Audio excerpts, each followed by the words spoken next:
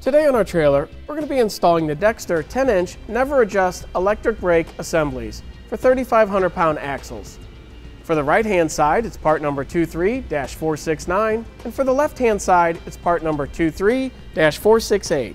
We'll also be installing the Dexter axle trailer hub and drum assembly for 6 on 5.5 bolt pattern, part number 84656 UC3. Now the installation is exactly the same whether you're installing on the left-hand side or the right-hand side. You just need to make sure that you use the proper brake assembly for the proper side of the trailer. We'll begin by removing the wheel and tire.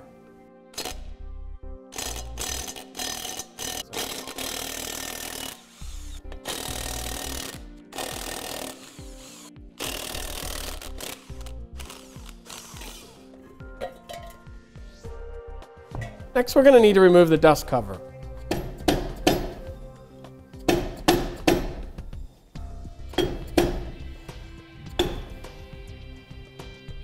Need to remove the cotter pin here.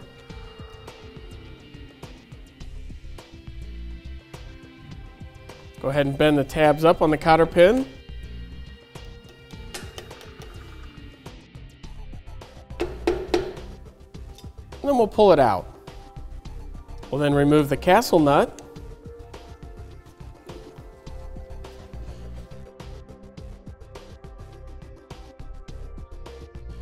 Next, we'll go ahead and pull the flat washer and the outer bearing out. There's the flat washer.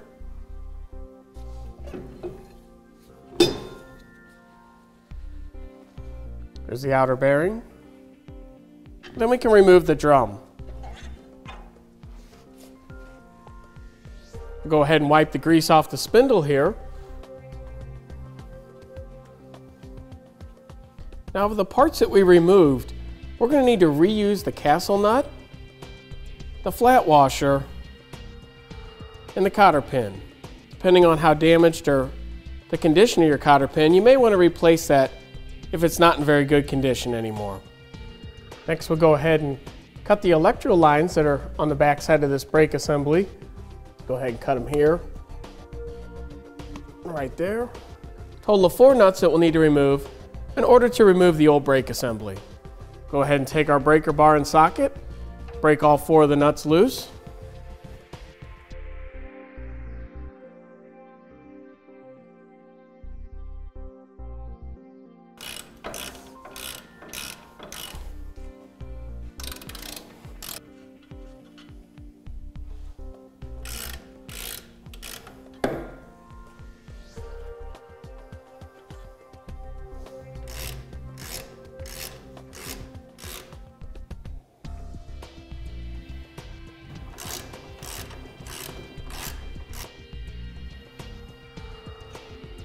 Now with all four nuts removed, we can go ahead and slide the brake assembly off of the spindle and flange.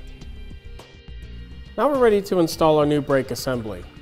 You'll notice that there is a sticker in here that says right hand, but if for some reason that sticker was not there, we could tell that it was a right hand side brake assembly by looking at the shoe. This one here is much longer than this one. You always want to make sure that the shorter shoe goes towards the front of the trailer.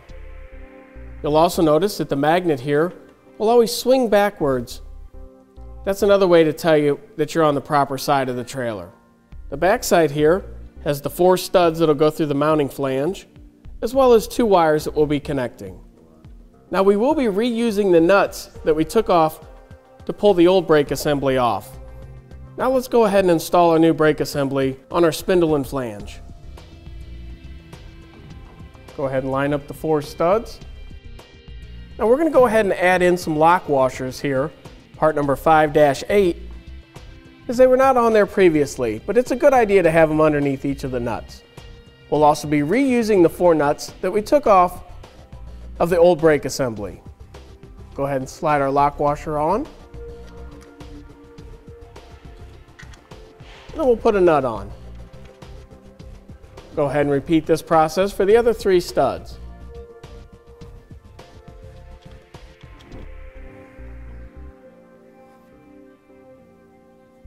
Now we'll go ahead and tighten everything down.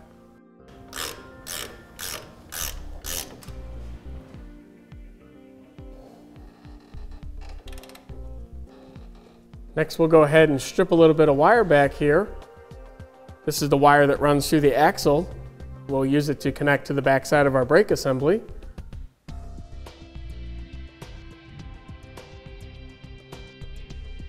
And when we connect these wires to the two wires on the backside of the brake assembly, it doesn't matter which wire goes to which. You can connect either wire to the power or the ground. Now we're going to be connecting to the wire that already runs through our axle, so our ground is going to be over on the driver's side. We'll be using a butt connector to make this connection here. The blue butt connector that we'll be using is part number DW05744-5. Go ahead and slide the butt connector on, and then we'll crimp it down.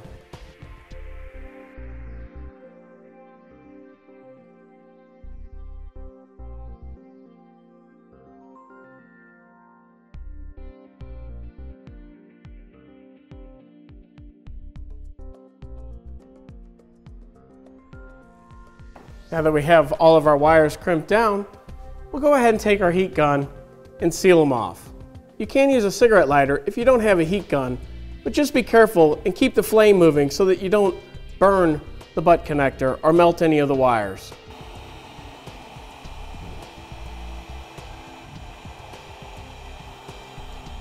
Next we'll go ahead and add a little electrical tape just to give each of the connections a little more protection.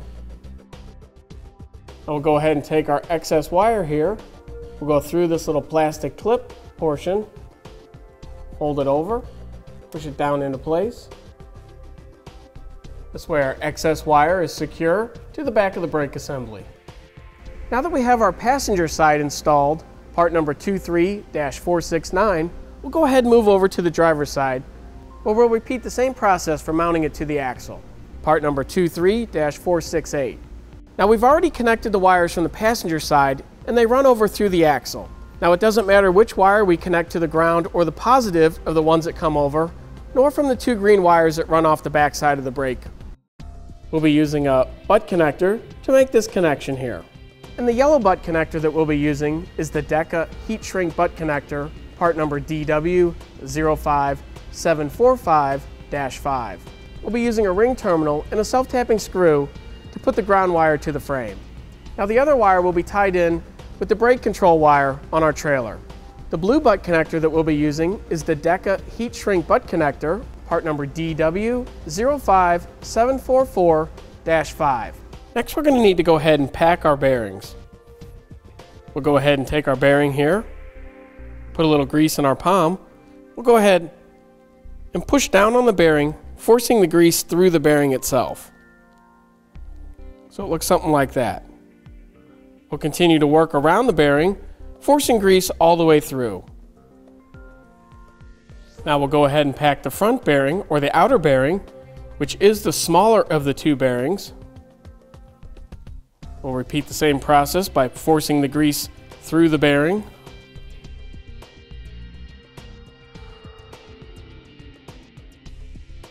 We'll go ahead and add a little bit of grease here to our spindle.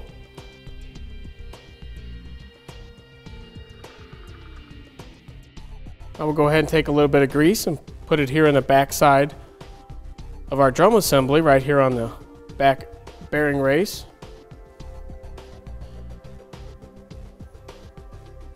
We'll then take our inner bearing, we'll put it into position. The narrower side goes in first. Next we'll need to put in our grease seal on the back side here. Right here is our grease seal. Sits down in position like that. We're just going to use a small block of wood to help push the grease seal down into position. Go ahead and take our block of wood and the hammer.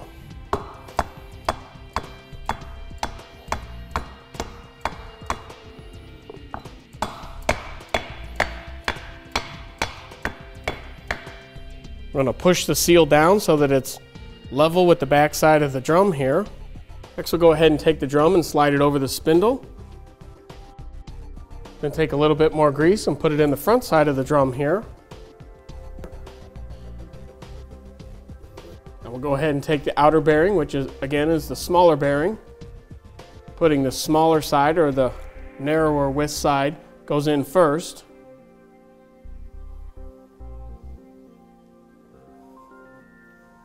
We'll then put our flat washer back on that we're reusing from before, followed by the castle nut.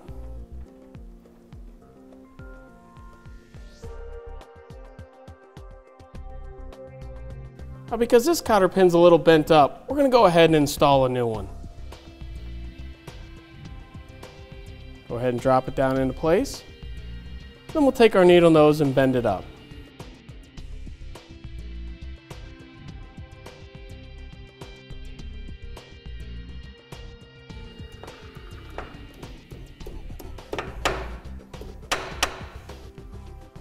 Now with our cotter pin bent into position, go ahead and wipe off any excess grease.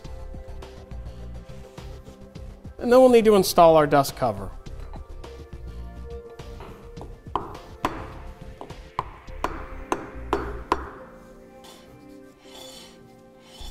Now we're ready to reinstall our wheel.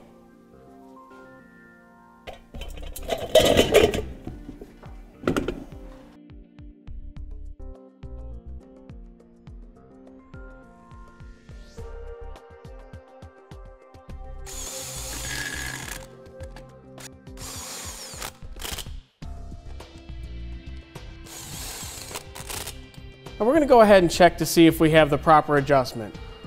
When you turn the wheel, you want to have just a little bit of resistance or a little bit of drag on the brakes, which we do.